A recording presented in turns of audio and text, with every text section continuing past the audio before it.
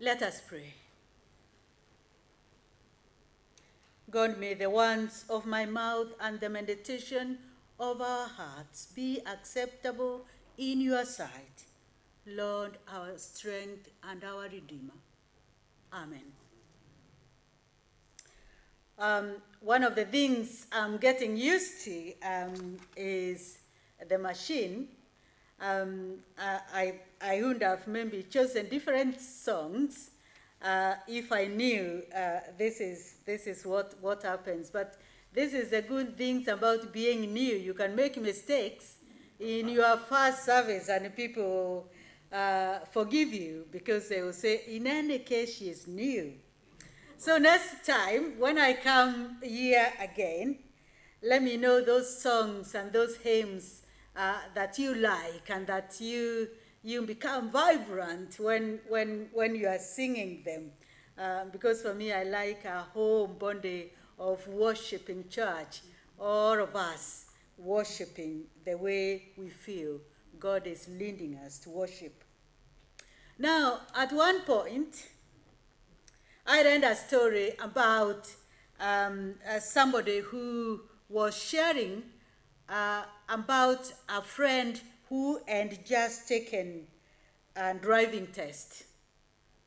And those of you who knows, um, who, who, maybe have taken a driving test recently, and even me who, who took maybe some times back, and some of you who took even more times back, will know that that's always a very demanding test.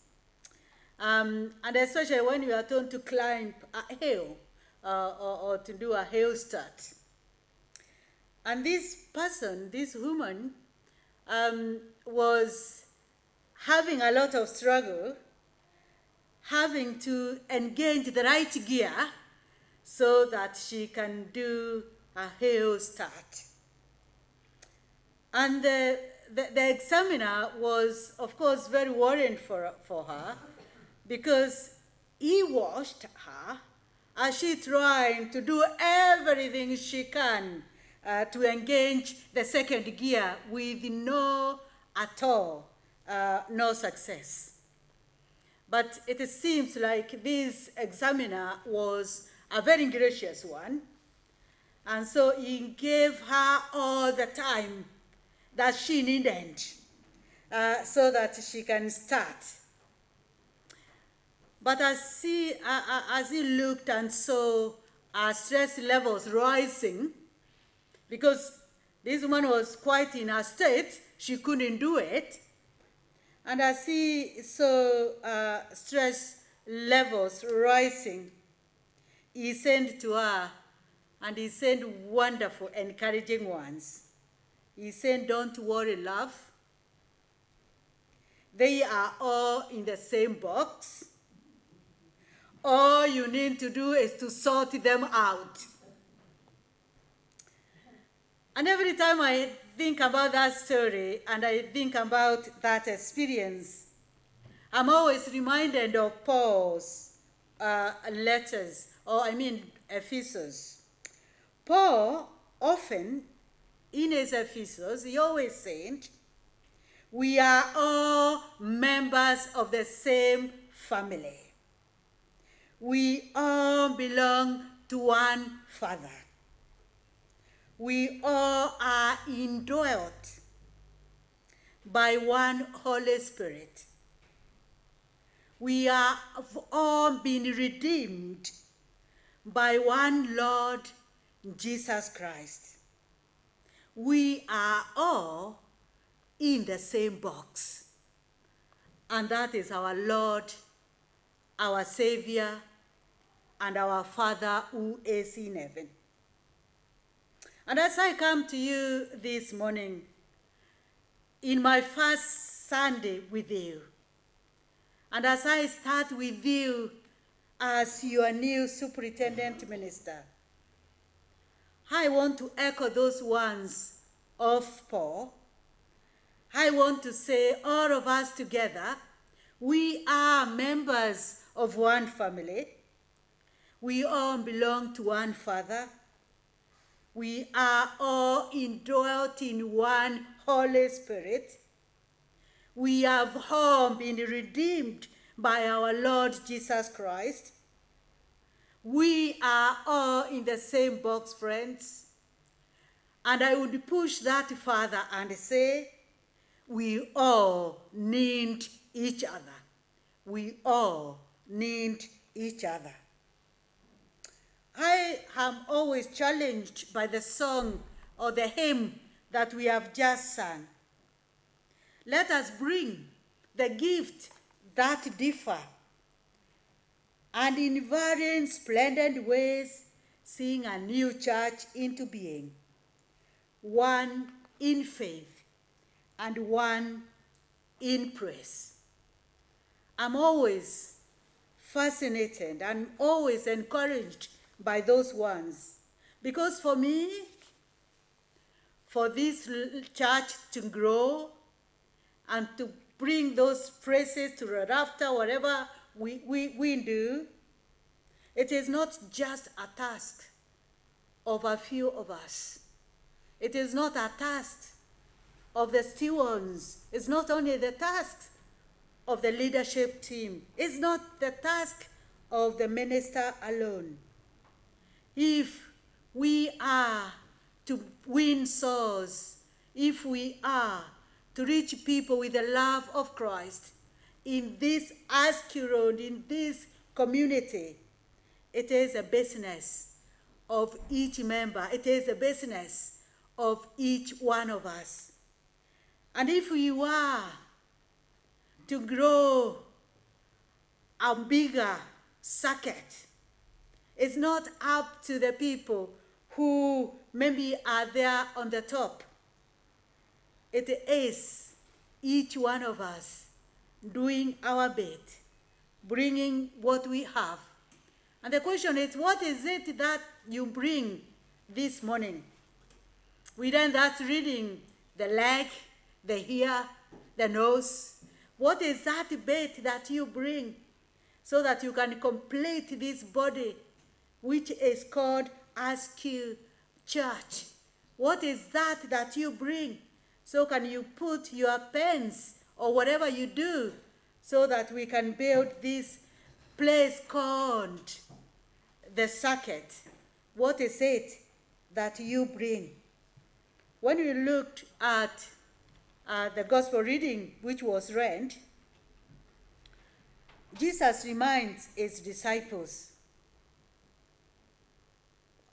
that whatever they are doing, they are doing because they have been given authority to do it. And all that we do, whether the singing we sing here, whether it's a serving of teas and coffees, whether it's opening this building for the community, we do with the authority that we have been given by our Lord Jesus Christ. He gives the disciples four tasks and he says, for you to be able to reach out to this place, this community, for you to be able to make disciples of our Lord Jesus Christ, he says, first of all, you have to get a vision. And in the next couple of um, weeks and months, I will be discovering what the vision of this church is. What is it that you feel God has called you to do in this place at this point for such a time like this? What are the avenues of ministry? What are avenues of spiritual development? What avenues of church growth is God calling you to be uh, engaged on in this place? Jesus says, You get a vision. And he tells the disciples, therefore go. Get a vision and therefore go. I think the problem with most of us is when we hear those words, therefore go, we think I have to go to Africa, or I have to go to Asia, or I have to go wherever it is. But maybe where Jesus is asking you to go this morning is maybe next door neighbor. It could maybe be in your grocery store where you shop every day, maybe where you get your newspaper every day. It's somewhere, maybe close to you, somebody you have not noticed, somebody who is just right there with you. Maybe this is where Jesus is challenging you uh, this morning to just go.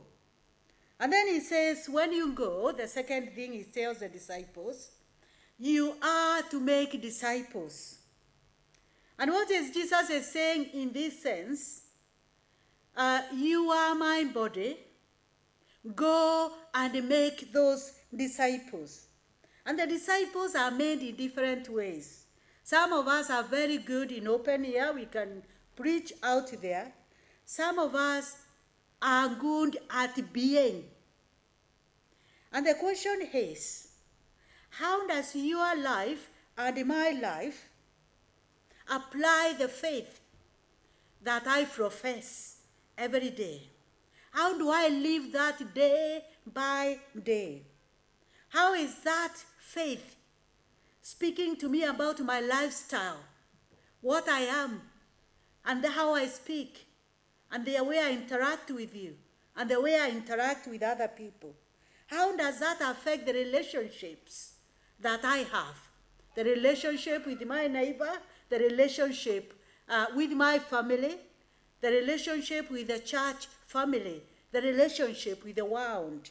How does that faith affect, uh, affect that? How is it experienced in all that I am?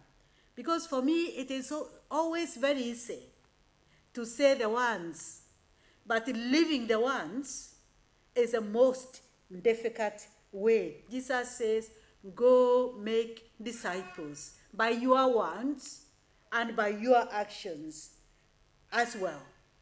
And then Jesus says again, um, uh, the, the next thing that this reading says is after you have made those disciples, join them up together. Join them up together, baptizing them in the name of the Father, in the name of the Son, and in the name of the Holy Spirit. Who are those disciples we have made, or maybe we are yet to make? who are scattered all over. Maybe these are people who have been baptized in this place. Maybe these are people who have not come back after COVID. And maybe people who are waiting for somebody to nudge them, maybe to, to, to whisper some words, to encourage them, to make them feel, actually, you can make it. We did. You can come. Who are those disciples who are scattered might there be even maybe those disciples who were married in this place and we have never seen them? Who are those people that maybe Jesus is pleading with us this morning to go and reach out to? And then the other thing is, as I finish, Jesus says, it is a promise actually. He says, and surely I am with you always to the end of the world. And surely I am with you always to the end of the age. Jesus is with you, and he will be with you in every step of your journey. He is with you. At those moments, that blessings flow. And He won't be with you in those moments when you wake up in the middle of the night and maybe you start shouting in anger to Him. He is with you right now in your joys and in your concerns. He is with you in all the experiences of our lives, in good times, in bad times, Jesus is with you. His hand is upon each one of us. And as we start together in this circuit, whatever you think about the circuit, God is with us in this journey. God is with you in this church as we journey together and as we seek to ask God, what is our mission here? Where are we? And where should we be? God is with us. And He says to us, and surely, as you build a community of faith in this place, surely I will be with you always to the end of the earth. Amen.